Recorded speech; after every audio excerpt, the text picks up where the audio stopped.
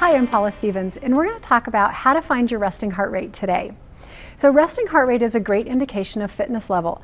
People who are more fit have a lower resting heart rate, and people who are deconditioned typically have a higher resting heart rate. The average heart rate for the average person is about 70. So today we're going to find how you we can figure out how you can find your resting heart rate.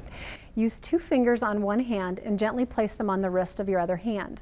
Using a stopwatch, use a 10 second count to count how many beats occur during that 10 seconds. Multiply that number times six, and that's going to give you your resting heart rate per minute, and that's typically what people use. Heart rate is a very dynamic number, so it changes frequently. If you're standing up or sitting down, it's going to be different. The best time to find your resting heart rate is first thing in the morning before getting out of bed. That's going to give you the most accurate resting heart rate. If you're not able to do it first thing in the morning, the other time to do it that's great is after you've been sitting around and you've been relaxed for a while. So maybe in the evening when you're watching TV or after you've been working at your desk for a few hours. That's going to give you the most reliable number.